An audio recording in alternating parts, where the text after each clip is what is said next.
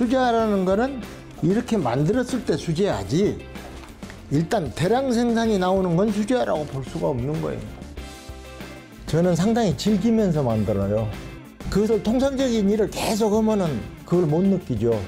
이렇게 틈틈이 새로운 걸 만들어내면서 딱 내가 생각했던 대로 나왔을 때 상당히 기쁘고 재미도 있고 저는 내 직업을 굉장히 사랑해요. 그 오로지 나는 구두만 56년을 했지. 그렇게 산 네 인생을 후회하냐면 천만의 말씀. 난 후회는 안 해. 참 잘 살았다. 내 속으로. 응? 그렇기 때문에 오늘이 있고 이 자리가 있고. 안녕하십니까. 저는 수제화 명장 1호 유홍식입니다.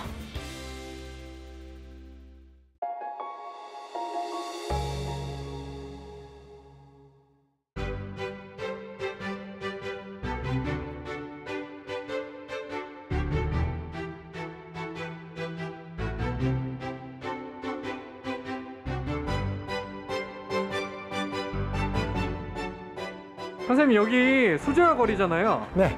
이 거리가 언제 생긴 건가요? 여기 생긴 지가 한 6년 정도 됐어요. 그 다른 사람보다 저 입장에서는 이제 이 성수동에 구두 만드시는 분들이 상당히 여러 분 계시는데 제 개인적으로는 보람이 있지요. 와서 내가 이 구두를 50년 넘게 만들면서 가장 보람 있는 장소가 성수동이고 또 성수동 와서 내가 정점을 찍었다고 봐야죠, 구두 일.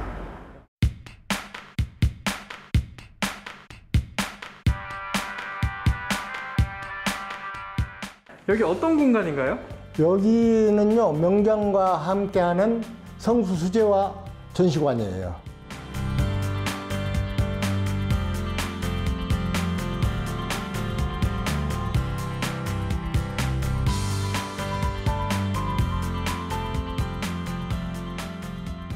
다 직접 만드신 건가요? 그럼요. 제가 직접 손으로 만든 명실공히 수제화, 오리지널 수제화라고 보시면 됩니다. 이게 이제 제가 명장 되면서 이 작품을 내가지고 명장이 됐어요. 이게 한 땀 한 땀 조각을 해서 만든 신발인데 어떻게 보면 이 구두 역사상 최초로 나온 모델이라고 보시면 됩니다. 이런 신발은 이제 우리나라 그 집세기에서 제가 개발을 했는데 이건 기술 특허까지 나왔어요. 이 보시다시피 이건 이제 여름용 신발인데 이렇게 다 구멍이 나 있어가지고요. 발을 뛸 때마다 바람이 쑥 들어와요. 이 구두 종류로 해서는 이게 제일 시원한 구두라고 보시면 돼요. 그리고 하나하나 이렇게 다 개성 있는 신발이 만들어져 있어요. 보시면 이렇게 다 수작업이 들어가서 이게 말하자면 수제화의 정품이라고 보시면 됩니다.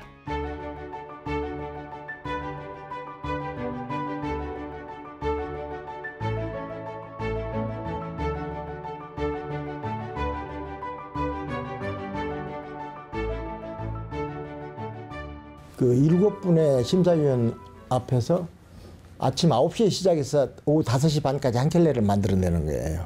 그, 그 전날 이제 자기가 만들 신발을 똑같이 만들어서 갖다 제출을 하고 심사위원 앞에서 그걸 똑같이 만들어야 돼요. 그걸 했는데 에, 제가 되었죠. 1호 명장이 된 거예요. 그래서 서울시에서 주는 명장증이지만은 전국이라고 봐야 돼요. 왜냐하면 성수동은 전국에 제일 최고의 기술진이 모여 있는 곳이니까요. 구두 메카니까요.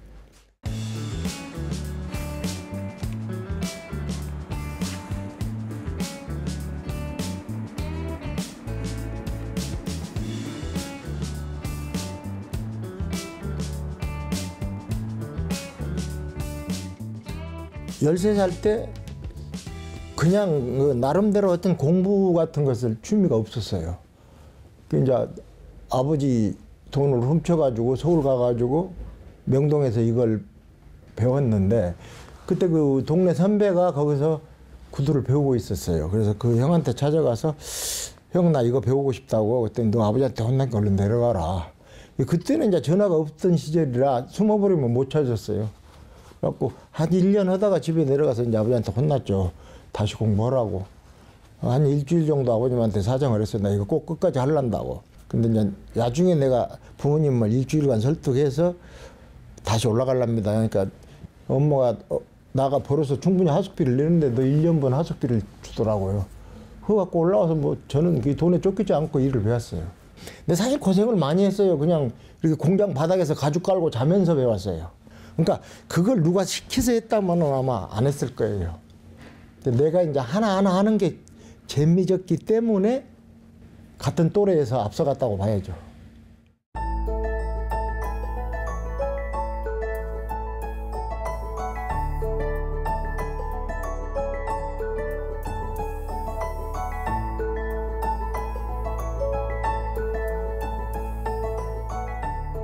선생님 지금 어떤 수제화 만들고 계세요?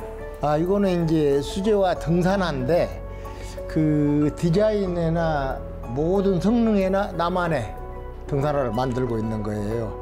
이제 이, 이 창은 세계적으로 가장 알려진 비브람 창 이걸 대서 이렇게 만든다고 보시면 돼요.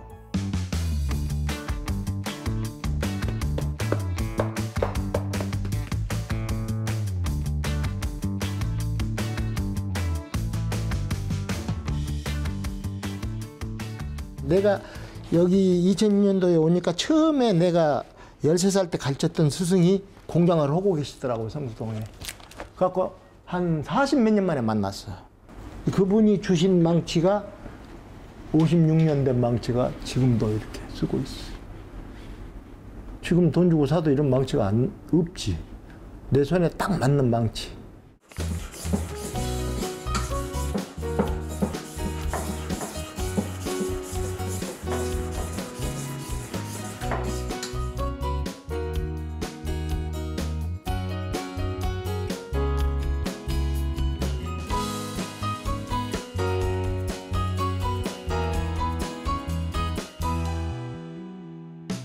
제가 일을 하고 있는데 그 청와대 여자 그 비서관 조교라고 하더만요. 그 따로 있더만요. 그분이 찾아왔어요. 처음에 와가지고는 출장 좀 가시자 그러더라고요. 그래서 아, 나 출장 다니는 기술자 아니다고.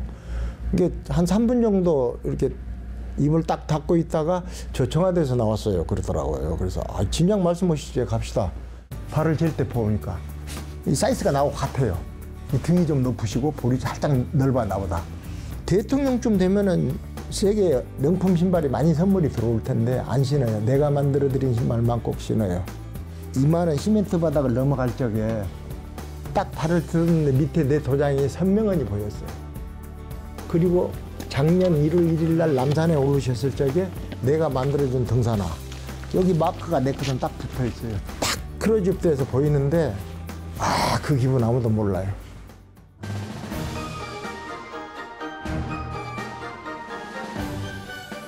그리고 이제 추가로 만든 신발이 이제 그 고무신처럼 만든 대통령 신발을 제가 만들어 드린 적이 있어요. 보시고 손님 움직여서. 우리 그림 가게뿐만 아니라 이 성수동 수자 거리 전체가 좀 홍보가 많이 돼서 그럼요.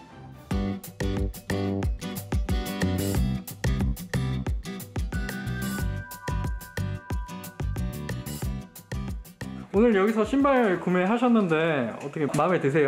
아 좋아요. 또 가는 지인이 소개해 주셨고 이런 일반 가지고 만져보세요. 촉감이 사람 피부 같잖아요. 기장으로 봐서 난 사장님 60 사이즈를 더 신어야 되는데 돌이 원체 없어요. 네. 그래서 60을 신으셔도 맞아요. 아, 뭐 단골 분들도 오시고 뭐 지인 소개로 이렇게 많이들 오시네요. 그냥 오시는 분은 없어요. 다 나를 알고 찾아오셔요.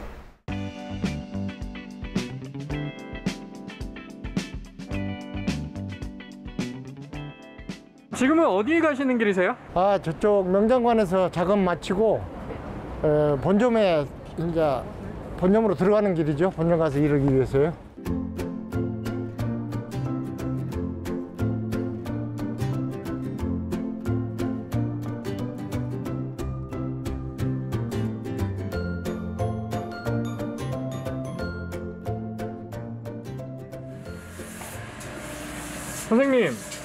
네 여기는 어딘가요? 아 여기는 내 작업 공간. 내 모든 것이 여기 다 있어요. 어떻게 보면 내 전 재산이 여가 다 모여 있어요.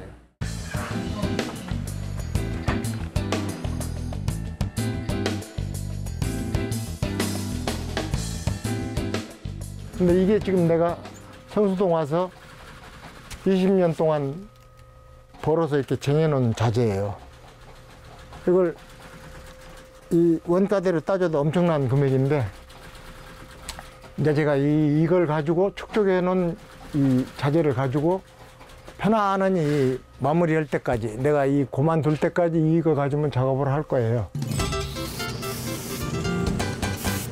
신발을 만들어서 최종 마무리 단계. 신발을 다 만들어서 화장시킨다고 보면 돼요. 상품화가 되기 위해서 이렇게 뿌연 신발을 광택을 내는 작업이죠.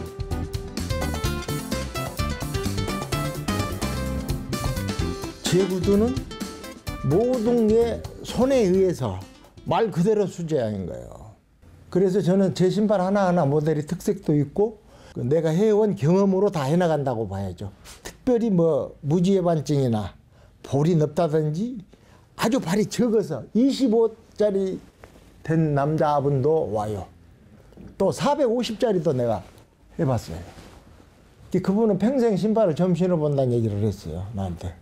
지금은 이제 신발이 다 되면 전화 오면 만들어서 보내주고 그러죠.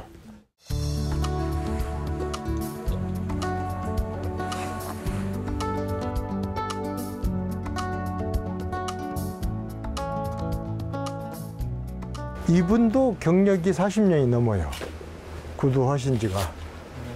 예. 이제 저거 만난 지는 지금 한 5, 6개월 되는데 저거 손발이 잘 맞아요. 일이.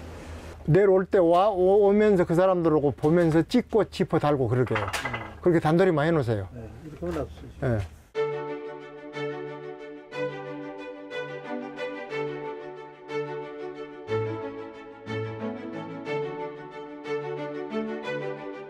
용국 선생님은 좀 어떤 분이세요? 좀 특별하셔요. 이뭐 하면 아주 일에 대해서는 하나 적 없어요 그냥 그냥 하는 거 그대로 그냥 정확해야지.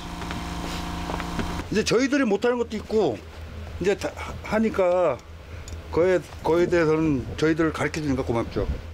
글쎄 저는 50년 넘게 수제화를 만들면서 그 즐기면서 일을 하고 있는 게 그게 어떻게 보면 내- 제 직업을 굉장히 저는 좋아해요.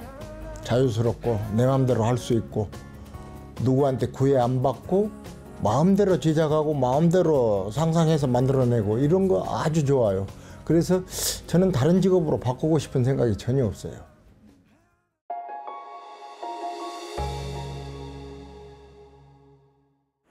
선생님 지금 어디 가시는 길이세요? 네, 수제화 만들기 위해서 자재 사러 가는 길입니다. 아, 성수동에 이렇게 가까이 자재상이 또 있나 봐요. 네, 여기는 구두 메카기 때문에요. 5분, 10분 거리에 모든 자재를 살 수 있는 곳이에요.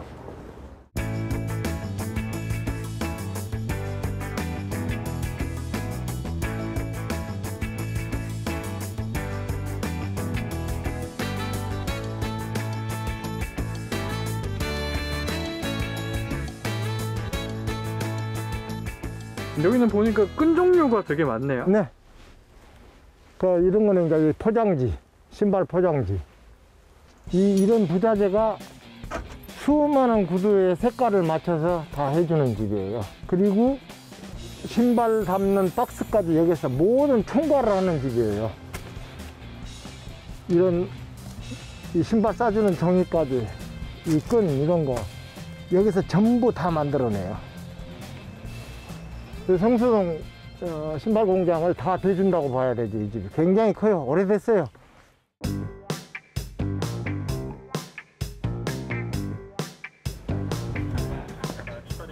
수고하십니다. 예, 이건 전부 안감만 전문으로 이렇게 하시는 사장님이세요. 뭐 이게 이제 돼지 가죽이에요. 이런 게 주로 합성피를 많이 쓰는데 우리는 이제 돼지 가죽 자연 피 그대로 팔고 있죠 이게. 예. 돼지 껍데기 가공해서 칼라 입혀서 여기 사장님이랑은 얼마나 인연이 되셨어요? 다한 10한 7, 8년 거래했죠? 그렇죠. 네. 18년. 네, 18년 정도 될 거예요. 성송에서 만났으니 하여튼 뭐 네. 초창기에 아, 초창기 시작할 때부터 예, 초창기. 시작할 때부터 만나가지고 진짜 오랜 인연을 자꾸 변화 없으니까 네. 사장님도. 변화, 변화 먹고 나도 변화 먹고.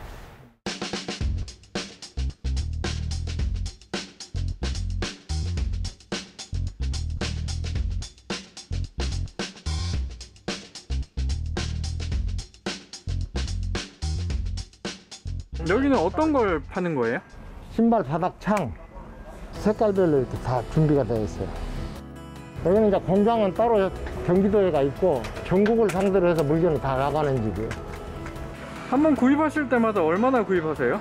음, 음, 가까우니까 그때그때 필요한 양을 갖다 쓰는 거죠. 뭐 100개, 200개씩 갖다가.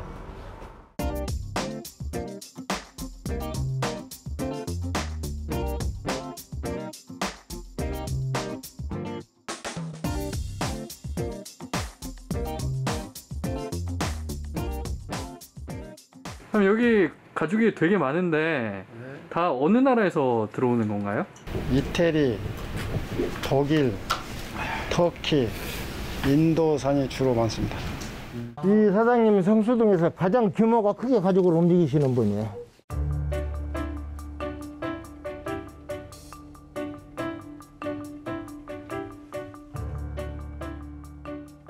이게 악어 가죽으로 악어 가죽 가다로 찍은 가죽입니다.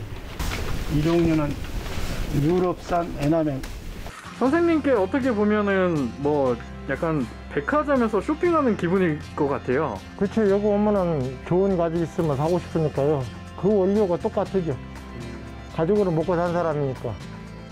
여기 와서 좋은 가죽이 들어와 있으면 사고 싶죠.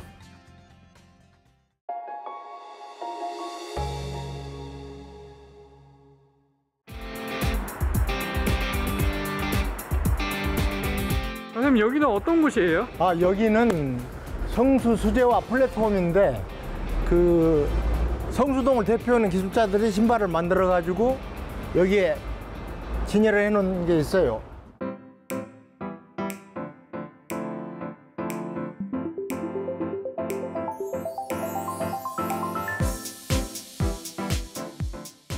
여기 있는 신발들은 이 성수동에서 내노라한 사람들이 다 만들어 놓은 신발들이에요.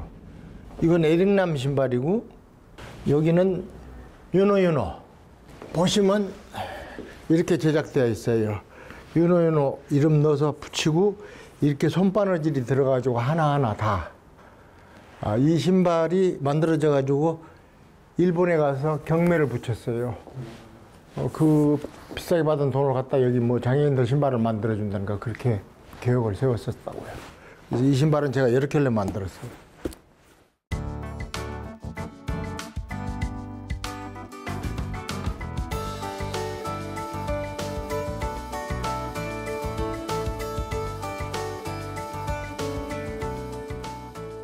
매년 한 번씩 이렇게 성수동에 계신 분들은 신발을 전부 모아서 품평회 하는 곳이 이 장소예요.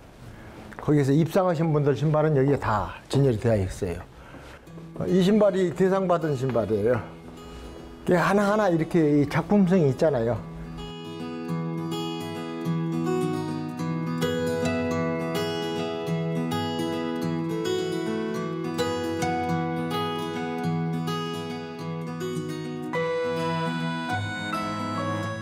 그 저는 제 아내 핸드폰 번호도 못 외우는데 지나가다가 신발이 딱 눈에 들어온 신발이 있으면 안 잊어버려요. 바로 와서 스케치해서 만들기도 하고 아침마다 모욕 가서 이렇게 욕조 속에서 한 30분, 20분 있으면서 상상을 막 해요.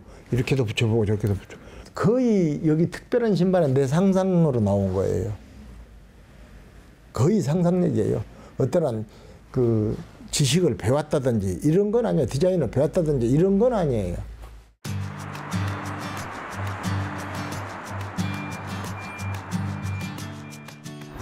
성수동에서 구두를 만들고 계신 분들의 발대장이에요. 이런 기념적인 거를 만든 이유가 있을까요? 아, 여기가 수제화의 그 메카니까 수제화를 위해서 일하시는 분들의 발도장을 기념비적으로 남긴 거죠. 선생님 발자취도 이- 있을까요? 네, 여기 있어요. 난 이렇게 썼어요. 다음 생에도 또 구두를 만들겠다고 써놨어요. 이게 제 발이에요.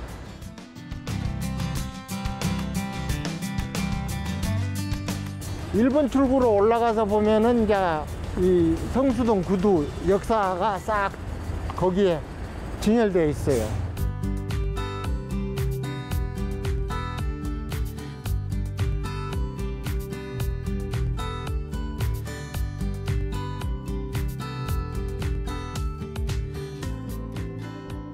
지금 여기서부터 시작이 돼요. 저 끝까지. 이거는 이제 조형물이고 이쪽에 보면 이 구두 공장의 지도를 다 해놓은 거예요. 이게 다 점점이 다 구두 공장이에요. 이게. 이걸 보고 꼼꼼하신 분들은 다 보고 찾아오셔요.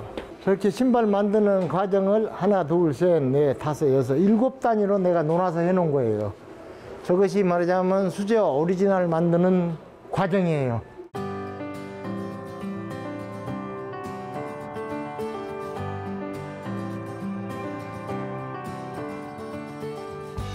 아까 보셨던 내가 썼던 55년짜리 망치에서부터 이게 쫙 전부 이게 내 연장이에요. 아 선생님 연장을 이렇게 전시를 해놨네요. 그렇죠, 그렇죠. 여기 자세히 보면 제 이름자가 들어간 이 직인이 있어요, 여기. 이거는 이제 신발을 보관할 때 집어넣는 구두 틀이에요. 신지 않을 때 이걸 찡겨 놓죠. 그래야 신발이 틀어지지 않고 그대로 있다고 보시면 돼요. 이 가게 사진은 6년 전에 제 가게예요. 그때 당시 여기서 매장을 했죠. 뭐 여기 일어난 내 손, 내가 만든 작품 신발. 아, 6년 전에는 제가 파마를 안 했어요. 그때 당시는. 명장 되고 나서 내가 파마를 한 거죠. 어, 이런 거 보면 되게 감회가 새롭겠어요. 아, 당연하죠. 감회가 새롭죠. 이- 이런 연장 다 이것도 제 연장 찍어 놓은 거예요. 그래서 여기 와서 지나가면서 이렇게 제 사진을 보면요. 감회가 새롭죠.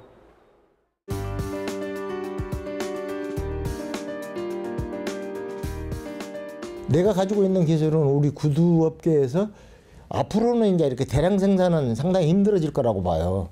왜냐면 원체 뭐 중국이나 베트남 이런 데서 싼 신발들이 많이 들어오고 그렇기 때문에 이제 우리나라 신발값이 많이 떨어졌는데 그런 것 때문에 이 수제화가 죽어버렸는데 그러나 수제화를 찾는 분들 그 수제화의 매니아들은 살아 있어요. 그렇기 때문에 예, 부분적으로 앞으로 젊은 애들이 이걸 배워가지고 자기 공방 형식으로 했을 적에 다른 직업보다 그 자기가 살아가는데 상당히 편할 거다 이렇게 생각을 해요.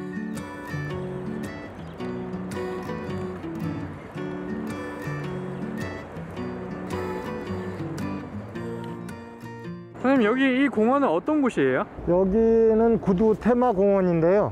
여기가 조성된 지가 지금 한 4년 됐어요. 여기에서 이제 구두 패션쇼도 하고 어, 또 구두인들이 모여서 여기에서 그 난장을 펼치기도 하고 에, 성수동에서 유일하니 구두 테마 공원이기 때문에 구두인들이 많이 활용을 하죠 여기를. 네. 여기 보니까 조형물도 뭐 구두를 상징하고 네네. 있네요. 그렇죠. 저게 밤에는 다 불이 들어오게 되어 있어요.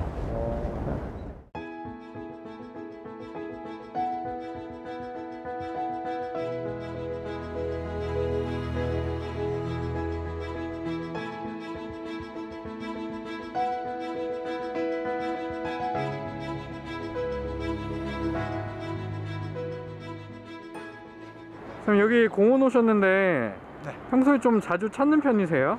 그 자주는 안 와도 그 작업보다 조금 힘들고 생각할 거 있을 적에 한 번씩 들려서 어 여기에서 그 디자인 생각도 한번 해보고 잠깐 잠깐 쉬는 공간이기도 해요. 에, 성수동 좀그 이게 건물들이 많이 들어서다 보니까 이쪽 공원에 와서 쉰다는 것은 조금 그 기분 전환이 돼요.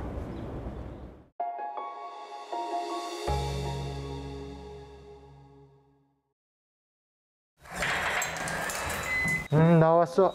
오늘은 주차장이 비어 있는 게 있어갖고 아주 편히 주차했어. 차 들어가 있어? 응. 잘했어. 밥은 오늘 평주하고 삼분방하고 같이 먹었어. 서 있어. 장사 안 되죠, 요즘에? 요즘에 되는 사람이 어디서 다 안 되지. 되는 게 정상 아니에요? 그래. 가정에서는 어떤 남편이신가요? 명장은 밖에서 명장이죠. 집에서는 명장 아니고 그냥 남편이에요. 이 양반은 5시 반이면 나가니까. 5시 반에 나가면서 그래도 꼭 나 나가네 그러고 나가고 또 하루는 꼭 두세 번은 통화해서 어딘가 밥은 먹었는가. 그 뭐 70 넘은 사람들이 그만하면 다정하다 생각하는데 모르겠네요. 어.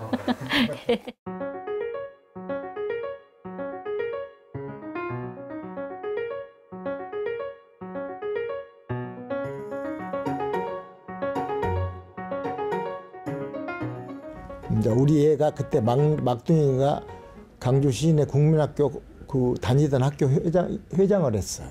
근데 회장단 엄마들이 모아, 모아서 서예를 했어요. 그때 광주에서. 그래서 집사람이 이제 그 서예를 배우고 싶은데 어떻게 생각해요? 그러더라고. 근데 그건 내가 생각할 때 아주 모범적인 응?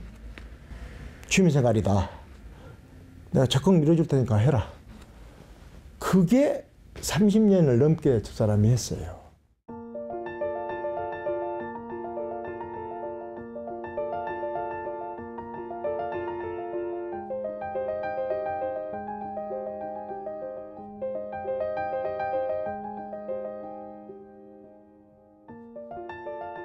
아이 뭐하러 그런 거 하냐고 저 잔소리하고 그러면은 못하죠.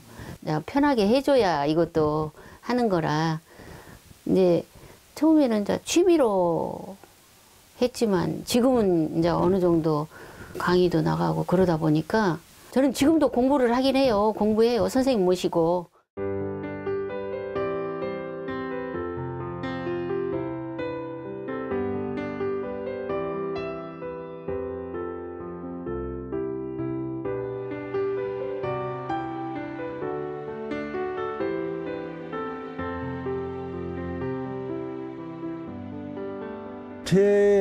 체력이 받쳐주는 한 저는 구두를 만들고 있을 거예요.